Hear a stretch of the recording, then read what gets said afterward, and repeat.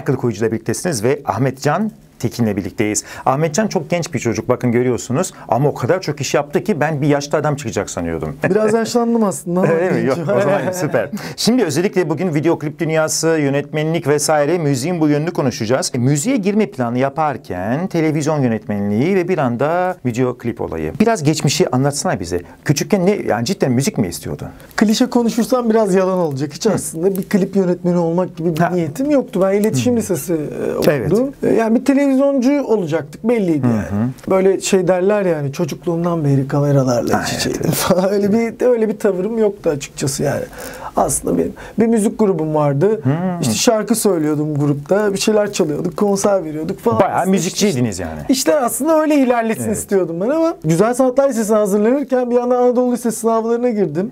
İşte iletişim lisesi diye bir şey olduğunu öğrendim. Bir anda işte benim hayallerim ortalıkta değişiverdi yani. Evet. Peki ilk video klibini nasıl çektin? Kime çektin? Nasıl çektim? Kime çektim? Aslında çok amatör bir işte hatırlıyorum. Ee, Mersin'de bir arkadaşım demişti. Ya bak sen bu işlerle uğraşıyorsun. Gel bizim bir arkadaşımız var. e, Single çıkaracak. Buna bir klip çek. Aslında Ne dedin o anda? Çok saçma sapan bir şeydi. Ne yapacağımı gerçekten bilmiyordum yani. Bir klip seti nasıl olur, nasıl e, yapılır, ne edilir? O zamanlar DSLR'lar ilk defa çıkmıştı. DSLR'lara artık okulda hakimdik biz yani.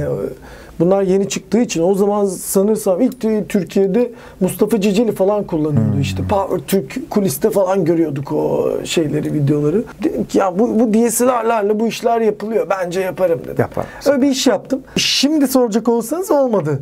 Ama o zaman Hmm. O zaman oldu. olsanız o zaman olmuştu yani. Evet. O zaman Ve böylece video klip dünyasına girdi e, Ahmet Can e, Tekin. 10 soruda konuşuyoruz e, Ahmet Can Tekin'im. En çok tıklanan klibin hangisi? En çok tıklanan klip. Tak diye aklına gelen. Manuş Baba eteği verindi. Evet. 200 Mesela- küsür Milyon. milyonda şu an evet. Şimdi daha bir, birkaç tane daha var 100 milyonu geçtiği Evet. için şimdi birazcık şey çok böyle heyecanlı gelmiyor ama hatırlıyorum geçen sene falan havalarda uçuyordum yani 200 milyon nedir? Çünkü Türkiye'de 3-4 kişi de e, 200 Evet, bandını evet, evet, geçmişti. doğru.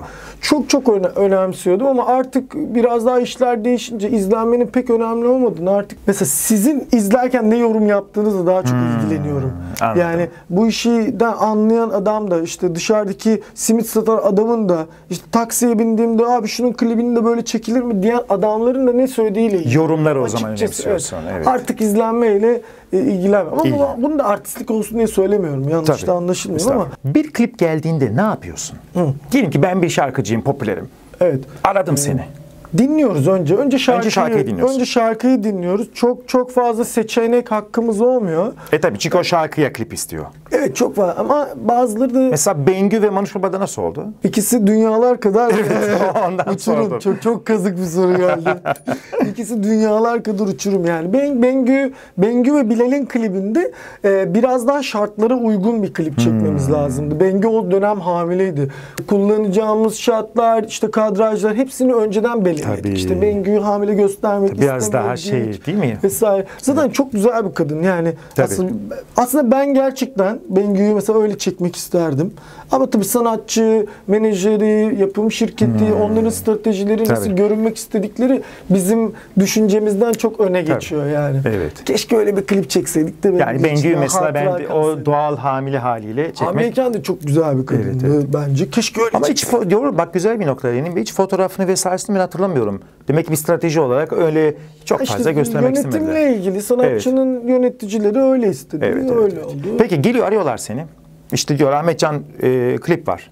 Şarkıyı dinliyorsun. Sonra ne oluyor? Çok yine trişka gelecek ama çok biraz da enerjiye bakıyoruz. Yani her zaman tabii bakmıyoruz, bakamıyoruz. Çünkü bir ara o şeyi yapmaya çalıştık. Biz her klibi çekmeyelim abi. Sadece kendi tarzımızda şey yapalım. İşte sadece biz ortalığı uçuralım, patlatalım falan ama yemedi onlar. Güzel söyle, açık yemedi. Çünkü elektrik faturalarını şeyler ödemiyordu yani. Tabii. Biz biz kendimiz ödüyorduk. Yani işin şakası Tabii. Yani yemiyor. Biz her şeyi yapmak zorunda bırakılıyor. Evet. Çünkü biz bazı insanlar bize böyle sanatçı falan gözüyle bakıyor ama biraz önce de söyledim ya yani alakası yok aslında. Bir adam geliyor, bize para veriyor. Biz sadece o adam aklında bir şey varsa onu yapıyoruz.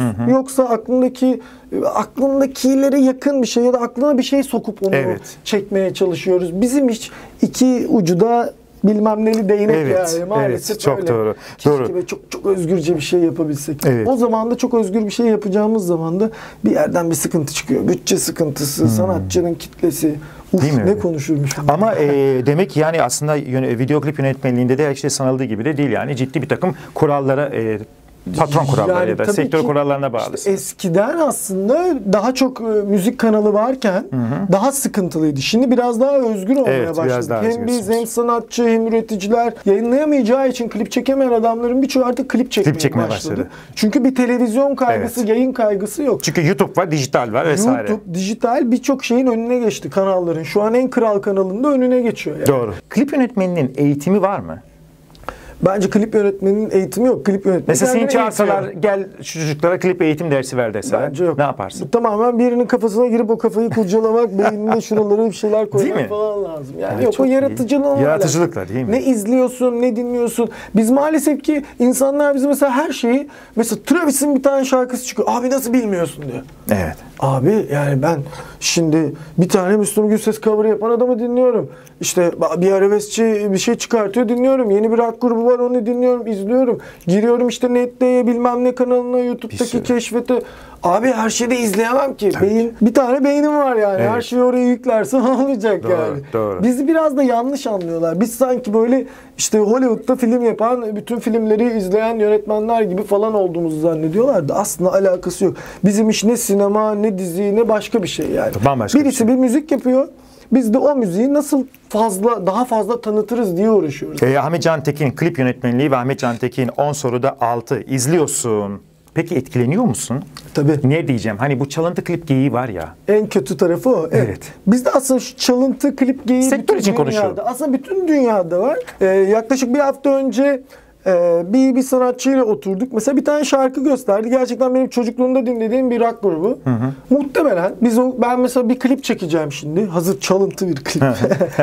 ya aslında esinlenmek çok acayip bir şey. Adamlar e, Hollywood'da bilmem ne stüdyolarında işte Universal Studios'ta bilmem ne imkanlarıyla yapıyorlar. Biz zaten aynı işleri Türkiye'de istediğimiz kadar e, bütçe olsun, American Express'i koysunlar masaya yine de yapamayacağımız işler var. Bazıları öyle işlerle geliyor. Teknolojiden dolayı mı? Neden? Ya, Şartlardan dolayı mı? teknoloji, şartlar bizim ulaş, ulaştığımız teknoloji aslında önemli. Yani adam bir tane kamera istiyor, o kamera yok burada. Hmm. Yok Türkiye'de. Adam bir tane stüdyo istiyor. Mesela ben o stüdyoya gitmek için bütün bütçeyi ve işte cebimden parayı Tabii. bilmem ne Harcaman her şeyi lazım. kullanmam lazım. Yok. Ya bunun kısaca özeti bizde o teknolojiye ulaşma imkanımız yok yani. Evet. Dolayısıyla istediğimiz her şeyi yapamıyoruz. Evet doğru. O zaman e, bu çalıntı klipler oluyor mu peki? Herhangi bir arkadaşında veya işte bu muhabbete şahit oldun mu? Evet oluyor oluyor. Ben de ben de yaptım birkaç kez. Yani çalıntı gibi değil mesela. Esinlenme bir o zaman yerden- yaptın. Bir yerden e, bir klip izliyorum mesela. Gerçekten hani kameraya konuşuyor olduğum için değil. Birazcık e, saçma sapan aklıma gelenleri söyleyen bir adamım. Millet Tabii söyle. yanlış anlıyor beni. Bazen gerçekten bir gece oturuyorsun bir şey izliyorsun ya da işte bir film izliyorsun. Orada bir sahne görüyorsun. Ya diyorsun ki ulan şu, şu işte ben bunu kullansam nasıl olur? Hmm. Ben mesela benim öyle bir kaygım yok. Birisi bana şu, şu klibi çaldı dese çaldım mı dese daha mutlu olurum. Ha, mesela. Çaldım abi aynısını. Yani bir sahneyi görüp alabiliyorum diyorsun. Bazen mesela Pinterest'te geziyorum abi. Orada bir şeyler görüyorum. Fotoğraf görüyorum Evet, mesela tamam? Bakıyorum adam eğer anonim birisi yüklediyse değil. Ama mesela bir, bir gerçekten bir fotoğrafçı, bir sanatçı işte atıyor bir sanat yönetmeni bilmem nenin yüklediği bir fotoğrafsa adama diyorum ki ben bunu çekeceğim. Millet o kadar hoşuna gidiyor ki. Müzik televizyon kanalları bir dönem deli gibi para alıyorlardı. Sizi nasıl etkiliyordu bu? Yani atıyorum sen klibi çekiyorsun. Gidiyor mesela şu anda Kral TV yok diye onu söylüyorum. Şarkıcı gidiyor Kral TV'ye 150 dolar istiyor Kral TV klip başı. E, Sonra e, ya da yayınlamıyor veya X bir TV yayınlamıyor. Bu öyle bir şey ki direkt sana fokuslanıyor iş.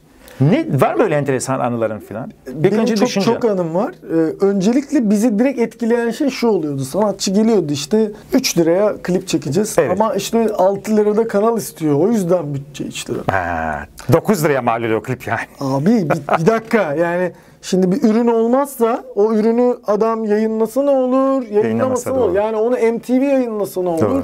bilmem ne. Evet. Önce bizim bir ürettiğimiz şeye destek olmamız lazım. Şimdi de aslında farklı değil. Adam mesela geliyor diyor ki işte 3 lira var ama 10 liralık YouTube reklamı. Abi Ha, bir dur. Önce bir dur. Önce sen ürettiğin şeye bak.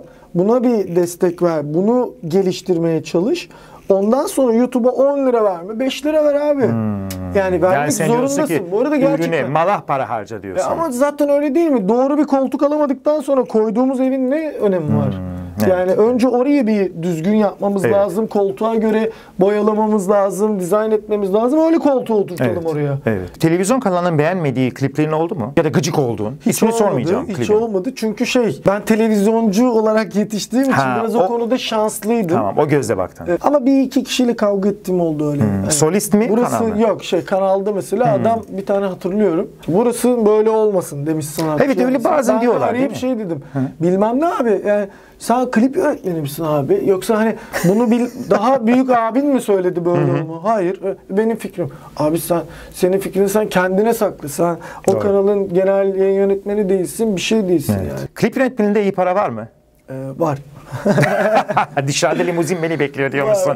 Ya şöyle önemli bir endüstri. Ee, bireysel olarak sormuyorum. Sektör olarak cidden bu sektördeki arkadaşlar, büyüklerimiz, küçüklerimiz iyi para kazanıyor mu? Ee, gözlem Ya da kar marjı diyelim. Gözlemlediğim kadarıyla var. Yani doğal olarak gerçekten insanlar nasıl ne zannediyor bilmiyorum. Ben şimdi yılların müzik yönetmeni, klip yönetmeni gibi artistlik yapmak da istemiyorum ama yani millet gerçekten burada demagoji de yapmak istemiyorum da ba- diyor- bazen millet şey diyor abi iyi para kazanıyor musun? Ya ka- kazanıyorum abi. Çünkü bak bir klibin bana bir haftaya patlıyor.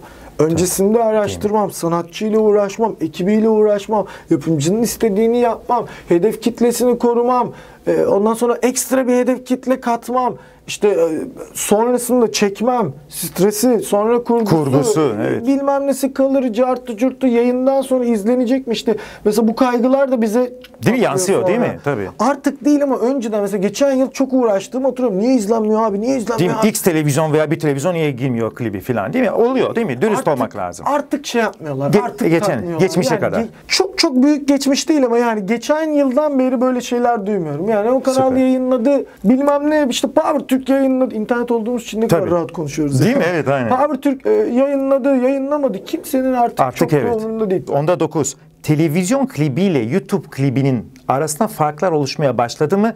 Oluşacak mı ne diyorsun? Tam oluşmaya başlarken?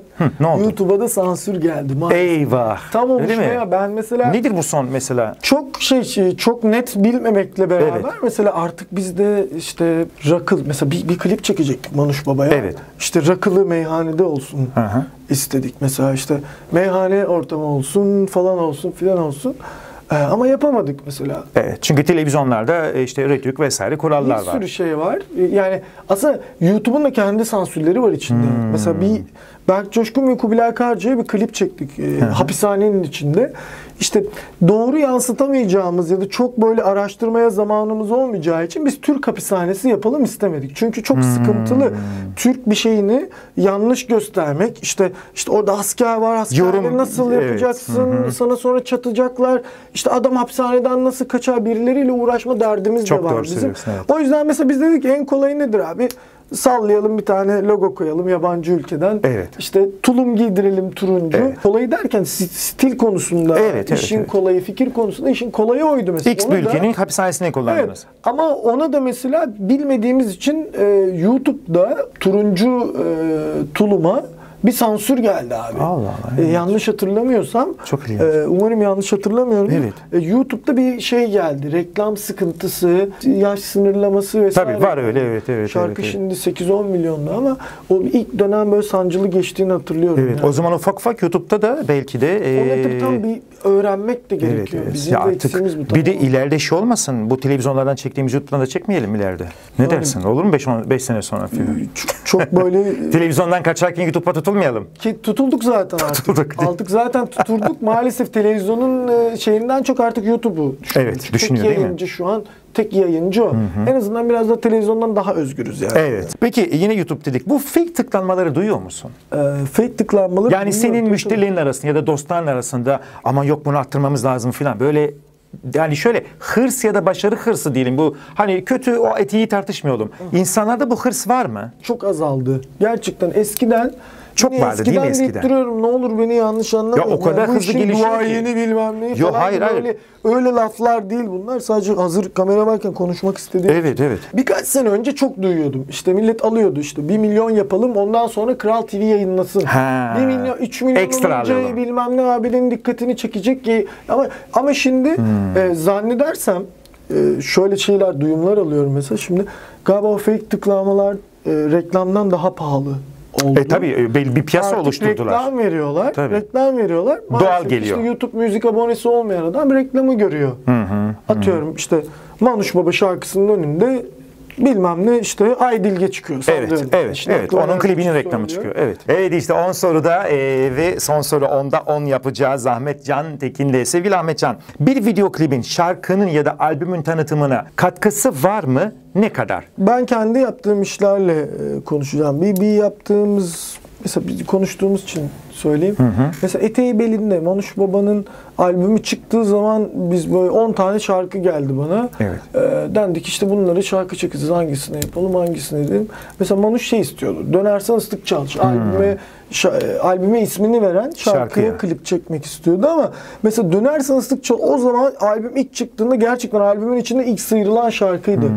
Ee, mesela Samsun Demir paylaşmıştı bilmem ne paylaşmıştı. Ben çok net hatırlıyorum. Mesela şarkı ikinci ayında, üçüncü ayında albüm çıktıktan sonra zaten 20-30 milyonlara geldi lirik. Li- söz yani klipsiz yani. Evet. Mesela ben ben şuna inanıyordum ki o zaman da hala da aynı fikirdeyim. Mesela biz mesela o albümden Dönersen Islık Çal'a klip çekmememiz lazım.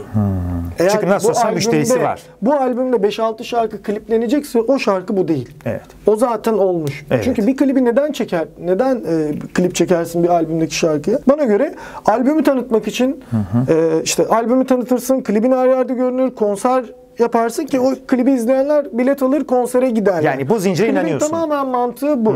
Yoksa yani ben bir şarkı yaptım, klibi olsun. Burada da karşısında kameranın bir şeyler yapayım. Bu mantıksız bir şey. Yani bir pazarlama unsuru klip. E tabii ki filmi de neden çeker ki insan? Evet, E, filmi de bilet satar, e, değil mi? Evet. Para kazanır. Bu tamamen para çokomel ilişkisinin en düzgün halkalarından bir tanesi yani. Teşekkür ediyoruz. Ben teşekkür Ne ederim. önereceksin?